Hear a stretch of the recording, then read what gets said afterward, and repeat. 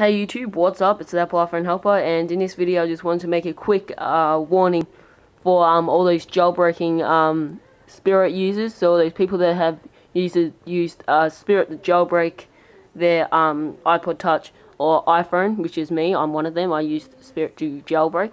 Um, just for all those uh, Spirit jailbreakers, do not update your iTunes to 9.2.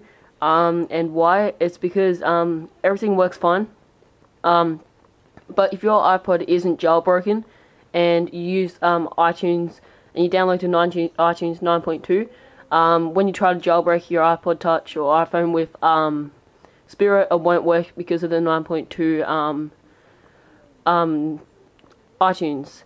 But like me, if you're already jailbroken by um, Spirit, um, that's fine. Uh, you can update to 9.2 iTunes if you want. It will still work fine but if you want to restore them re-jailbreak with Spirit, it will not work.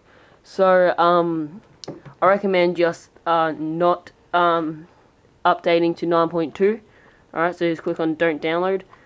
And, um, yeah, so that's just a quick heads up, just saying do not update to the 9.2 iTunes. Thanks guys, please rate, uh, comment, and subscribe. Thanks again, see ya.